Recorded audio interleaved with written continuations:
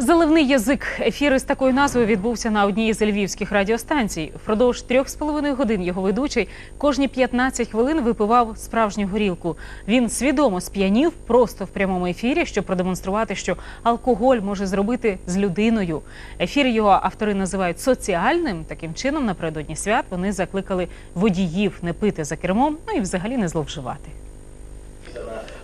Усе починалося так. Вже 7.11 – це прямий ефір. Я випив перших 50 грамів. Відчуття, до речі, дуже незвичне. Зараз скажу чесно, ніби воно десь в горлі. Знаєш, е, справді зупинилося. Алкоголь в крові десь починає по мені рухатися. Минуло три з половиною години, і ось він момент істини. Перейдемо на ти, ой на ти, ой на ти. Е, вибачте, мене не береться на мене. Я вже все. Ти собі йди відпочивай. Я зараз, пішов. зараз Саду е, гуляла, квіти збирала. Все, 11, 10.33. Я відмовився сидіти за пультом. Його експеримент мав чіткі правила. Горілку пив з 25-грамової чарочки 8 разів на годину. чесно кажучи, завершував колись пити о сьомій, але ще ніколи не починав о сьомій ранку пити. Перед тим на радіостанцію запросили керівника міського ДАІ із справжнім алкотестером. Ти тримаєш то пальчиком, набираєш повні груди, повні А я? груди. І так А ще нарколога. Від 100 відняти 7. Ще відняти 7.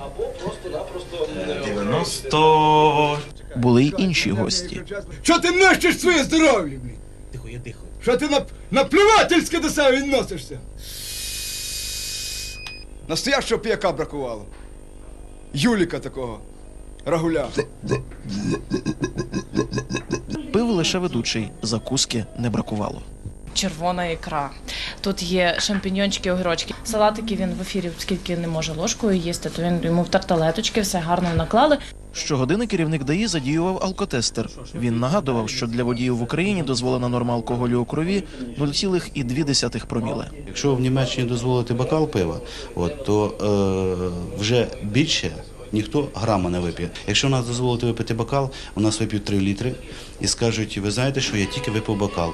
На ведучого, який важить 102 кілограми, горілка подіяла не одразу. Після години ефіру апарат показав 0,47 проміле, а після трьох з половиною годин і 750 міліграмів спожитого спиртного вже майже 2 проміле. Зараз є та стадія, яку в народі говорять: я невидимий. Тобто він може робити все, що завгодно. Він думає, що цього ніхто не помічає. У слухачів незвичний ефір мав шалений успіх. За приблизними оцінками за ним стежили близько мільйона людей. Організм невгамовного ведучого, який ризикнув здоров'ям, щоб закликати водіїв не пити за кермом, відновиться через 12-14 годин. Омеляна Шудля, Корист Малькот, ТСН 1+.